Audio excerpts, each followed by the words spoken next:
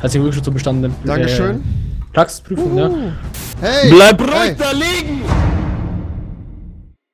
So Leute, ich will einen Führerschein machen. Ne? Also, machen wir uns auf. Fahren wir doch erstmal rüber zur Fahrschule, würde ich sagen, Leute. Oh, wie äh, stellen wir das am besten an? Man kann ja, man darf ja eigentlich nicht ablesen, ne? Glaubt ihr, man schafft das? Also, da müsste schon dumm sein, wenn man das, wenn man das nicht schafft, oder?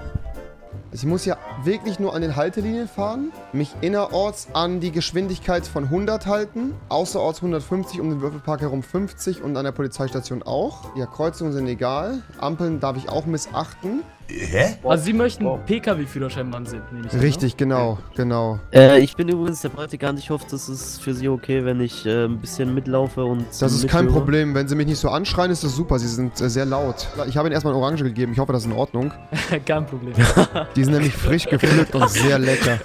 Und 1000 Dollar, bitteschön. Ne? Was sind denn die Höchstgeschwindigkeiten innerorts, außerorts und auf der Autobahn? Also innerorts äh, beträgt die Höchstgeschwindigkeit 100. Da gibt es natürlich auch ein paar Ausnahmen, die ich habe. Ne? Unter anderem der Würfelpark und Krankenhäuser und Polizeistationen. Da darf ich natürlich nur 50 fahren und muss natürlich darauf achten, wenn ich mich dem Zebrastreifen näher, klar, dass ich da nicht mit 100 durchbretter. Ne? Was sind an Ampeln denn zu beachten? An Ampeln ist nicht zu beachten. Es sei denn, ich habe da halt einen Fußgänger, der überqueren möchte. Da schaue ich natürlich. Aber Ampeln sind erstmal nicht Teil des beachtungsmäßigen.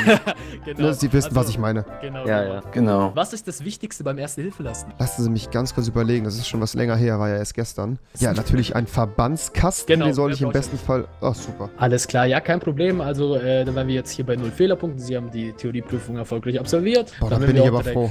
Zur Praxis übergehen. Uh, okay, wunderbar. Gut, wir fahren wahrscheinlich keinen Porsche Boxster GT, da sollte das nicht passieren. Also, wir fahren schon ein relativ schnelles Auto, ne? Aber Okay. das sollten Sie hinkriegen, ich glaube, dann Sie. Schneller als Ja. die Roller bestimmt. Das wissen Sie nicht, mein Roller fährt 70. Ja. Nice. Das ist, Ah, das ist okay, mein okay, Schmuck, okay. ein kleines Schmuckstück hier. Ah, okay, sehen Sie ja. Aber das ist, da sehen Sie halt, ich bin jemand, der auf Sicherheit wirklich Wert legt, ja. Das ist alles verchromt, damit es bei anderen Fahrern zu sehen ist. Die ganzen Lichter vorne natürlich auch. Es ist wie so ein ge geflügelter Ja. Engel. Okay. Das ist schwierig, hier 20 zu fahren. Das Auto beschleunigt Ja. dann doch. Ne? Ganz ehrlich, fahren Sie 30. Auch ganz wichtig, ne? Äh, nicht auf der Spur bleiben, wenn es geradeaus heißt, sondern äh, hier jetzt zum Beispiel nach links wechseln, weil der Pfeil in Ah ja, ah gerade so, okay. Genau. Ja, ja, okay, okay, okay. Ich will ja wie gesagt nicht zu schnell fahren. Ich Kein sehe Problem. teilweise, wie, wie hier gerast wird. Das muss ja nicht sein, ne? Genau. So, hier müssen wir 50 machen, ne? Das ist ganz Genau. wichtig. So, sehen Oder Sie, was ich meine hier? Das ist, das ist äh, schwierig hier, ne? Wir gehen nachher mal auf die Autobahn, da kannst du mal versuchen, falls du willst, äh, den Rekord zu brechen von äh, einem meiner Fahrschüler. Der Rekord von dem Auto liegt so bei 216 km. Schauen wir mal, ob ich das hinbekomme. Keine Piepser, der Wagen, ne? Genau. Ich bin der Diplom-Chirurg tatsächlich. Also, sollten Sie da, wie gesagt, in Interesse haben, ne? Kann ich gerne mal gleich meine Nummer weitergeben. Herzlichen Glückwunsch zum bestandenen Dankeschön. Praxisprüfung, ne? Uhu.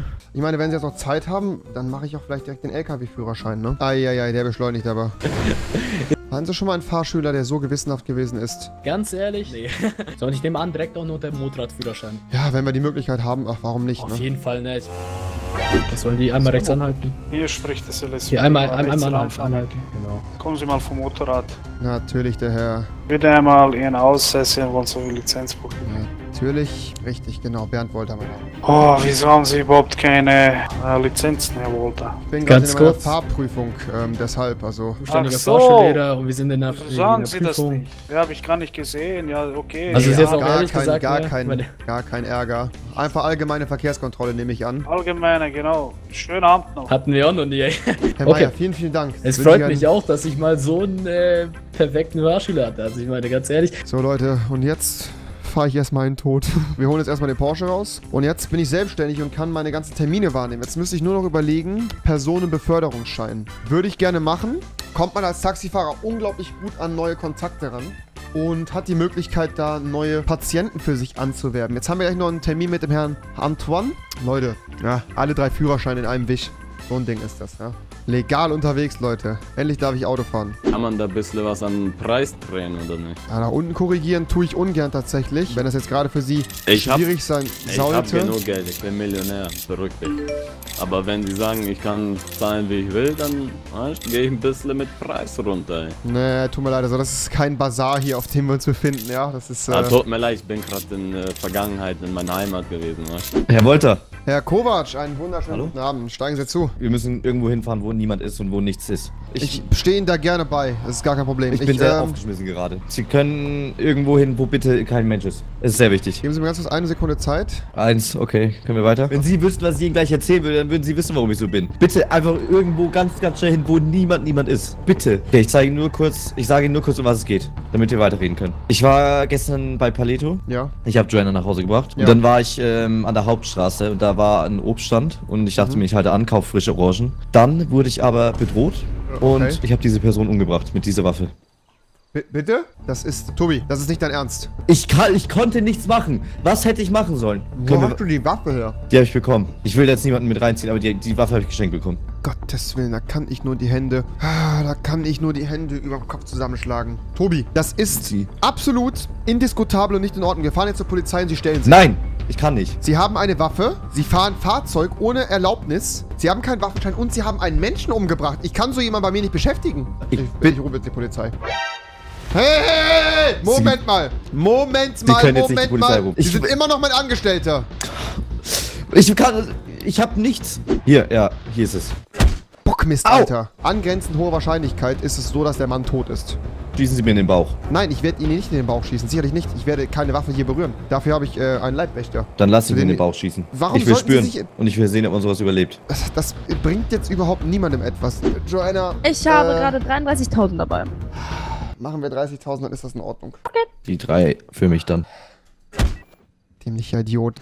Ich rufe ganz kurz die Polizei. Nein! Das ist zu dumm. Nein, stopp! Kann jetzt auf Anfrage senden drücken. Oder wir lassen das. Ja, wir lassen es. Hä, was ist das für eine Frage? Joanna, Ja. dürfte ich vielleicht fragen, ob du noch Leute hast, die eventuell Therapiebedarf haben, wenn ich das so offen sagen darf? Denke erstmal nicht. Joanna, was mit dir selbst? Ah, halt, stopp. Die ist ein bisschen Warte mal, durch. willst du damit verraten? Bitte? Du bist ein Arsch. Nein, nein, nein. Nein, jetzt Ah, nicht, nein, nicht, nein, nicht nein, so beleidigt. Jetzt nicht auf Du beleidigt bist- machen. Du sagst gerade, ich brauche eine Therapie.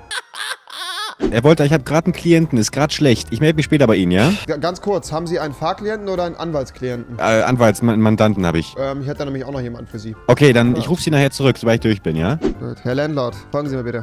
Herr Bernd, Ja, nennen Sie mich Herr Wolter. Herr Wolter, genau. Da vorne steht ein Bon. Ja, das ist von meinen Mitbewohnern. Ähm, also erzählen, wir mal, erzählen Sie mir erstmal, warum sind Sie überhaupt hier? In erster Linie bin ich hier, weil sie mir geraten haben, hier reinzukommen. Sie haben mich Das doch gestern überredet, oder nicht? Ähm, Boy, das hat alles in Ruhe angefangen, weißt Ich war im Würfelpark, hab da ein bisschen mit meinen Kollegen ein bisschen trainiert, weißt Ja. Und dann kam ein Typ von Seite, weißt und hat gesagt, hey du Dummkopf, halt dein Schnauze, red nicht so laut, ey. Dann hat er gesagt, wenn du jetzt nicht deinen Schnauze hältst, dann zieh ich dich mit deinen Ohren über den Teppich hier, weißt Boden, meint er Mhm, wahrscheinlich. mhm, mhm, Weil mhm. Teppich ist ja nicht in Würfelpark, in Beton, weißt Hey, beruhig dich, ey. Mein, mit meinen Ohren, ich wär fast in Disney, in Dumbo hätte ich ein Musical mitgespielt fast, weißt mhm. und dann hat er gesagt, was hast du gerade gesagt? Hast du mich gerade disrespektet oder was? Jedenfalls, in drei Minuten später, meint der Typ, warte hier, zwei Minuten. Ich komme wieder und dann, wenn du nicht weg bist, ich gebe den Knarren in deine Birne. Mhm. Und dann war ein bisschen Fetzerei. Ba, ba, ba. Da halt dein Schnauze, du Dummkopf. Und dann ich,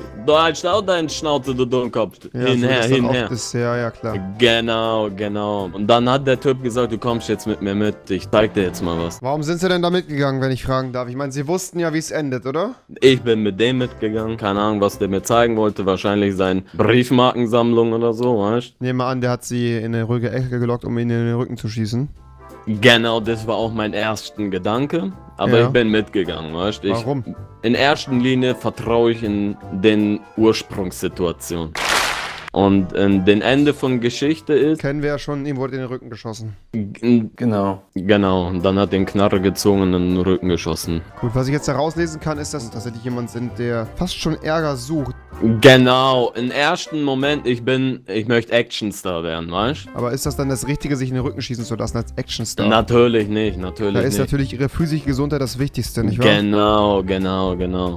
Genau. Wollen wir ganz kurz mal durchspielen, wie es eventuell aussehen würde? Stellen Sie sich vor, ich habe jetzt hier diese Waffe, Sie sehen das, ja? Reagieren Sie mal bitte so, wie Sie auch gestern reagiert haben. Ja, gib nee, mir einen Tritt, gib mir einen Tritt. Ah, ich bin in Situation jetzt drin. Hey! Bleib ruhig hey. da liegen! Ich So, bin Anti-Intuitionstraining. Du hast mir gerade ein Badge gegeben, ey. Und jetzt ganz kurz, hören Sie mich? Natürlich. Wir sind raus aus der, aus der Situation und genau da müssen wir jetzt ansetzen. Ja? Verstehen Sie, dass Sie jetzt genau in dem Moment müssen Sie umschalten im Kopf. Ja? Wichtig ist, dass Sie klar und deutlich ohne Beleidigung und Ausfälligkeiten signalisieren, dass Ihnen die Situation gerade zu viel ist und dass Sie das nicht möchten, okay?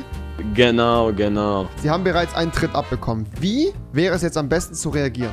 Ich würde dir jetzt eine Geschichte erzählen. Es war einmal ein kleiner Indianer, der seine Unschuld verlor. Also haben wir doch hier schon mal den ersten Schritt zur Deeskalation gefunden. Ja? Die Mhm. Geschichte Genau. und das Herunterspielen der Situation, dass das einigen auf eventuell ein gemeinsames Interesse, nämlich den Kampfsport, ja? Richtig, genau, genau. Gut. Wäre das denn für Sie in Ordnung, wenn Sie das jetzt immer fortan versuchen anzuwenden? Natürlich, ich bin in den Stadt so reingekommen. Aber das Problem ist, die meisten Typen, denen ich den Geschichte erzähle, die, die raschen direkt aus, ey. Gut. Direkt, bam, Dann- bam, bam, bam, Genau, hier, und das, bam, ist dann, da. und das ist dann genau der zweite Fall, den wir besprechen müssen. Und zwar ist es da auch wichtig, einfach mal zu sagen, gut, ich entferne mich jetzt hier, Sie wollen das nicht hören, möchte keinen Ärger, lassen Sie mich bitte in Ruhe, ich gehe jetzt, okay? Komm, oder hast du Angst? Komm, komm her, komm her. Bleib ruhig da liegen! Ey! Komm, Ey! komm, ja, komm. Oh, hör mal auf! Hä? Warum beruhigst du dich nicht? Gewalt ist doch keine Lösung, ey. Ich werde mich jetzt hier nicht beruhigen, du hast mich dumm angemacht hier, hä? Pass mal auf, du kleinen Pfennigfuchse. Ich glaub, du brauchst ein bisschen Hilfe. Komm jetzt, los, komm, hä? Warum hast du Angst gibst du mir was? den ganzen Tag ein Badge, ey? Was ist Hast denn du Angst mit oder dir? was? Hast du Angst hier, hä? So, jetzt, jetzt die letzte Stufe zünden. Was machst du jetzt? Den Geschichte erzählen wir das doch. Genau, oder? genau, richtig, genau. Hey, Ah, los, beruhig dich jetzt. Ich erzähle Hey, dir eine gute Nachtgeschichte, ey. Okay, lass mal hören hier? W- Komm. So, ich was erzähle hä? jetzt eine Geschichte von den St. Martin, Ja. wie der mit seinen aufgemotzten Karre rumfährt, weißt Merkst du, ich fange jetzt an zuzuhören und äh, Genau. beruhige mich, ja? ja? Genau, genau. Das war die Geschichte. Siehst, du, siehst du, was jetzt passiert ist? Ich bin jetzt ganz ruhig. Genau, Jetzt haben wir alle drei Stufen mal durchgespielt und es hat dir geholfen. genau, weil ich den Geschichte erzählt habe. Möchtest du mir eins beantworten? Wie fühlst du dich jetzt? Ich bin gerade in, in Ruhe unterwegs, hab ein bisschen Schmerzen in meinen Birne, weil du mir ein Badge gegeben hast, du Dummkopf, aber ist Mhm. okay. Sehr gut. Wie hat dir deine erste Stunde gefallen? Ich sag dir ehrlich, das war brutal, ey. Du bist Ging super. Ja. Komm, ey. Du mal. Du hast mein Herzen tief drin. Hast geklaut grad. Gib mir wieder, du Dummkopf. Hast du gut gemacht heute. Ich bin stolz auf dich. Das ist den ersten Betrag. Und Super, vielen, jetzt vielen Dank, kriegst du noch ein bisschen Trinkgeld, weißt du? Nein, das muss nicht sein, das muss nicht sein. Alles gut. Wir haben hier feste Sätze. Ich möchte, das ist sehr lieb. Dankeschön. Hallo Herr Wolter, ich bin, ich bin gerade mehr oder weniger in eine Geiselnahme verwickelt. Ist gerade schlecht. Ich melde mich gleich nochmal bei Ihnen, ja? Sie sind jetzt nicht an der Staatsbank, oder? Ja, ja, doch, wieso? Sie armes Schwein. Soll ich mal vorbeikommen? Vielleicht kann ich vermitteln. Ich bin Psychologe. Ja, es ist, es ist glaube ich, auch nicht mega illegal, was wir hier gerade machen. Was ist denn, Solange- passiert? So, ja, jetzt werden die vermutlich gerade die Bank da leer rollen. Ich hätte zumindest auch mal erwartet, dass nicht immer irgendwie ein Polizist die Verhandlungen führt, sondern dass gerade mal jemand wie Sie da dahin geschickt wird. Unter Und, uns ja. gesagt, ich habe äh, einen Mitarbeiter, der hat gestern tatsächlich jemandem in den Bauch geschossen, nachdem er bedroht worden ist. Ähm, für den Fall, dass da eventuell rechtliche Konsequenzen auf ihn zukommen, äh, da, da können wir uns hier. auch gerne bei Ihnen melden. Ja, was Ja, passiert ja, da? auf jeden Fall, auf jeden Fall. Ich bin nicht. Da, jetzt geht's los. Die hauen alle ab. Alle in die Autos und zack, weg Alter. sind sie. Aber wie schnell jetzt? Zack, zack, zack. Alle kommen raus, Ameisen. sehen Sie das? Guck mal, da sind noch Geiseln dabei, sind noch Geiseln dabei, oder? Die verschleppen die auch noch, die Perversen. Oh, oh, oh, oh, oh. Ein paar Nummernschilder aufschreiben, Nummernschilder aufschreiben. Von hier Das oben. war's. Verdammt. Ja, nee, das war's noch nicht. Schauen Sie mal da vorne rechts. Polizei hinterher und Weasel News auch direkt. Ja, wollen wir mal reingehen? Wollen wir mal schauen? Ich meine, da stehen ja noch ganz viele Fahrzeuge, ne? Keiner Okay. mehr drin. Keiner mehr drin. Starten wir den nächsten Überfall. Damit rechnet keiner. Herr Bergmann, wir haben nicht mal eine Waffe. Das stimmt. Oh, oh ich habe noch Stimmen gehört. Raus hier, raus hier, raus hier, raus hier. Hier sind definitiv noch Leute von denen. Das ist ihr Auto? Sie Das sind seit vier hier. Ähm, ganz kurze Frage. Ich äh, spreche mal lieber ein bisschen leiser. Ja. Angenommen, wir haben eben noch was in der Bank mitbekommen. Es geht auch eher darum, dass wir das Gefühl haben, es ist noch nicht vorbei. Dass das nur ein genau. Ablenkungsmanöver war und die eigentlichen Wir Verbrecher gerade- noch in der Bank sind. Wir waren gerade in der Bank drin und haben noch Stimmen gehört. Gleich einmal mein Telefon. Alice Ja, für die. Leitstelle, linken Rhyme, guten Abend. Hallo, von drin. Was? Jetzt geht er schon weg. Das ist irgendeine brisante Information. Von, von innen. Naja, sag ich ja, sag ich ja. Ich, ich schau mal, ob ich eine Einheit vorbeischicken kann. Vielleicht haben wir ja da Glück und äh, finden noch was. Ja, wir wollten die Informationen, wie gesagt, nur abgeben hier. Dürfte ich Sie noch eine Sache fragen? Ja. Tatsächlich bin ich Was denn? beruflich Psychologe und würde eventuell mich mal gerne vorstellen Das machen wir später, einen Moment. Verhandlung. Der Mann ist beschäftigt, glaube ich, Herr Wolter. Ja, das bringt alles hier nichts. Nee. Also die Polizeiarbeit hier ist wirklich lausig. Kannst mir nicht erzählen, dass hier nicht Korruption auf höchster Stufe passiert, ja? Und das kann nicht sein, dass die Polizei und die Politik da nichts tut und nicht da ist. Versteh mich nicht falsch, aber wenn wir genug Leute zusammenbekommen, ja? Kriegst du nicht hin, dann kriegst du, dann weißt du, was die mit dir machen? Sie sagen, komm mal mit zum Flughafen und steig mal in den Flieger ein, so. Die können mich doch nicht einfach rauswerfen. Ja, ja. Wenn man eine Partei gründet oder sowas, das wird da wohl noch legal sein. Das ist sehr, sehr schwierig. Das, das kannst du hier nicht durchkriegen so. Jetzt geht's los. Ja, super. Was ist los, Officer? Guten Abend. Der hat eine Panne, den haben wir gerade eine. Ich hatte, ich hatte gerade eine Panne gehabt. Ich bin hier die Klippe runtergefallen. Alles gut. Sind die Klippe runtergefallen? Ja. Ich mache mich nochmal auf den Weg. Ich glaube, ich habe noch eine Führerscheinprüfung zu erledigen. Dann hoffen wir, dass wir diesmal nicht von der Polizei angehalten werden, ne? Diesmal hoffentlich nicht. Vielen Dank, ich habe zu danken. Ich bin sehr glücklich. Und an der Stelle bin ich dann raus. Dankeschön. Dann zeigt mir mal eine Person, die hier auf null Fehlerpunkte Basis, ja, komplett alle fünf Fahrprüfungen an einem Tag durchrotzt, ja. Das will ich aber erstmal sehen hier. Ich jetzt morgen hole ich mir noch einen Waffenschein. Ja, dann bin ich hier etabliert, ja. Und dann sehen wir uns die Tage, beziehungsweise morgen wieder. Macht's gut, haut rein. Bis dann. Ciao.